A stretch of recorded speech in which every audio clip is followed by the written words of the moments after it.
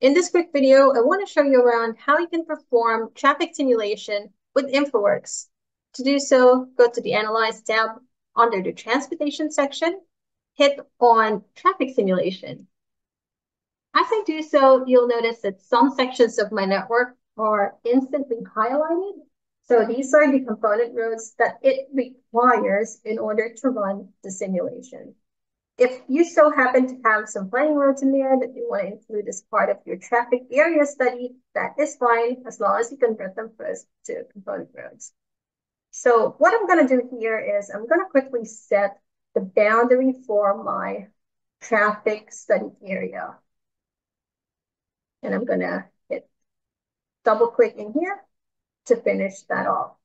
So you'll notice that this window right here for traffic study area simulation becomes available. So we're not going to hit on that just yet because what we want to do is go to our traffic analyst panel to control some of the parameters that we have here to make sure that our analysis is as realistic, as close as possible to what's actually happening on the ground. All right, so we now have the traffic analyst panel open and this is where we can control some of the parameters that we have for the simulation. So in this particular scenario, we want to look at the peak traffic during the rush hour in the morning. So we're going to do a short morning simulation in here. So to do that, I'm just going to activate that. And from there, we'll look at the components that we have here at the bottom and look at how we can configure that, make sure that that is closest to what's happening on the ground. So if you look at the parameters in here, we have the ability to control the time of day and which days this simulation runs. So at the moment, that's set to 8 to 9 a.m. any day during the week. And for now, we'll just leave that as default. If you look at the controls in here, do have the option to look at the various intersections in here.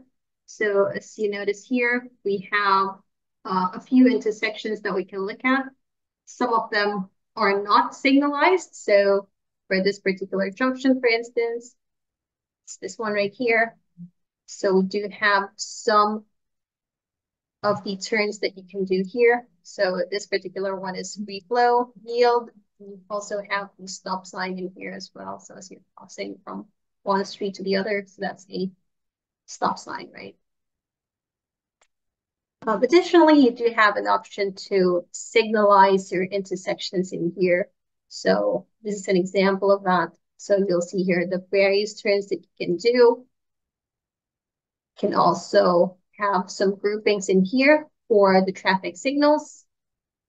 Can control the phases as to how those signals happen, as well as the timing, right? So all the numbers that you see here are in seconds. So you can obviously control that, right? And plan out how the signaling is happening in this particular junction.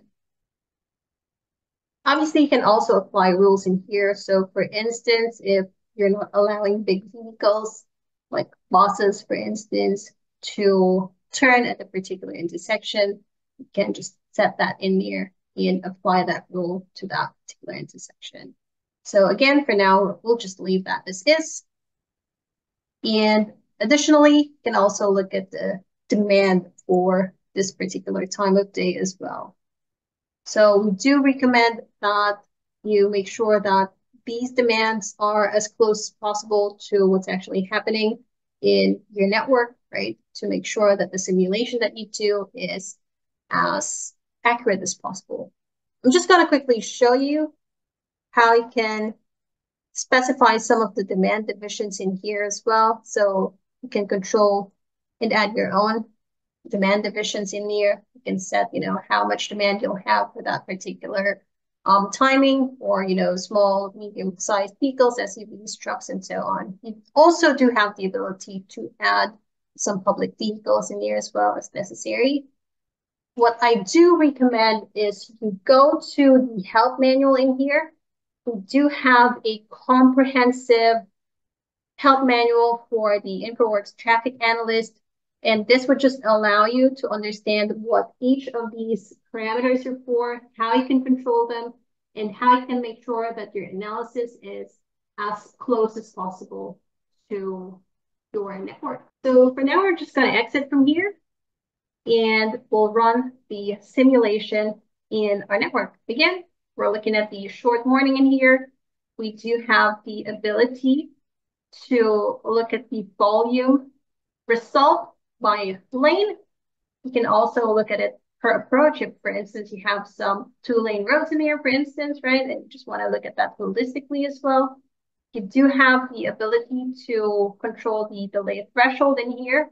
So that means that as you exceed that threshold, that particular section in your network will turn red, just so it will be flagged. So for now, we'll just leave that as is and run this simulation. And now that is done, you can start looking at our traffic here.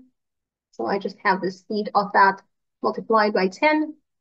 So you can see here that this junction right here actually looks problematic. So there are a lot of red sections in here. And as you hover over them, you'll see how long the queue will be during that time of day, the average delay as well. So no wonder this is highlighted as red. You'll see the average delay in here is 162 seconds. This one as well, 141 seconds. But as we look at the other sections of our network in here, other sections are actually fine. It's just these areas in here that are bottlenecks for our network. So what we can do from here, right, is we can start looking at how we can potentially improve the traffic in this particular area.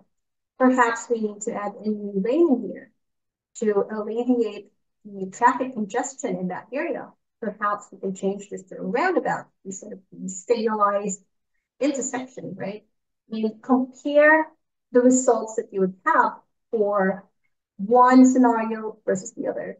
So this is where your proposal may be handy. So you may be able to create multiple scenarios in here and run the same traffic simulation in here and do a compare and contrast of the results that you would get for each.